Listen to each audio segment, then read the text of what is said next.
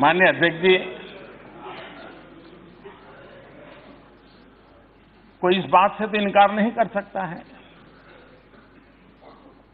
कि देश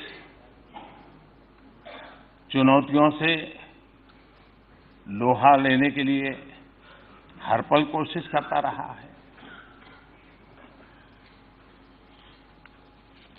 कभी कभी चुनौतियों की तरफ़ न देखने की भी आदतें देश ने देखी है। चुनौतियों को चुनने का सामर्थ्य नहीं, ऐसे लोगों को भी देखा है। लेकिन आज दुनिया की भारत के पास से जो अपेक्षा है, हम अगर चुनौतियों को चुनौती नहीं देंगे, अगर हम हिम्मत नहीं दिखाते। और अगर हम सबको साथ लेकर के आगे चलने का गति नहीं बढ़ाते तो शायद देश को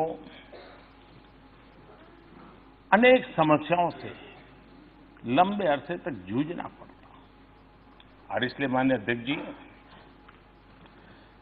अगर कांग्रेस के रास्ते हम चलते तो 50 साल के बाद भी शत्रु संपत्ति कानून का इंतज़ार देश को करते रहना। पैंतीस साल बाद भी नेक्स्ट जनरेशन लड़ाकू विमान का इंतज़ार देश को करते रहना। अट्ठाईस साल के बाद भी बेनामी संपत्ति कानून लागू नहीं होगा 20 साल बाद भी चीफ ऑफ़ डिफेंस स्टाफ की नियुक्ति नहीं हो पाती। माननीय अध्यक्ष जी, हमारी सरकार तेज गति की वजह से, और हमारा मकसद है हम एक नई लकीर बना करके लीक से हट करके चलना चाहते हैं। और इसलिए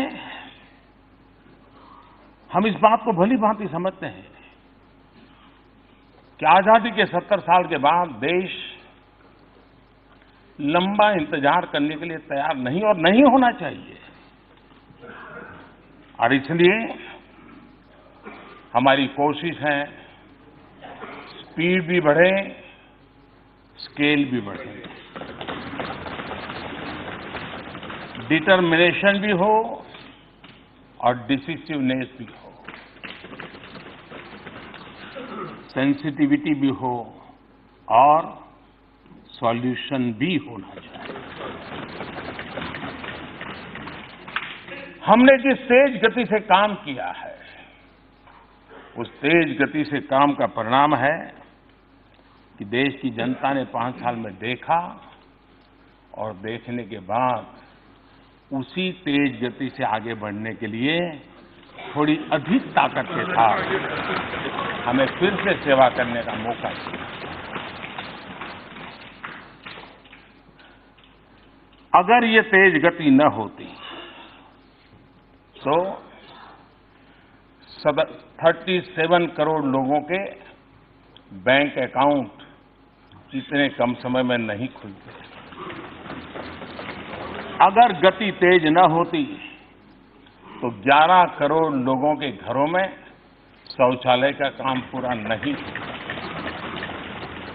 अगर तेज गति नहीं होती तो 13 करोड़ परिवारों में गैस का चूल्हा नहीं पहुँचता।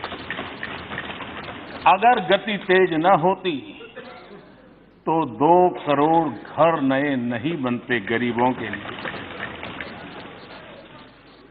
अगर तेज गति नहीं होती तो लंबे अरसे से अटके हुए दिल्ली की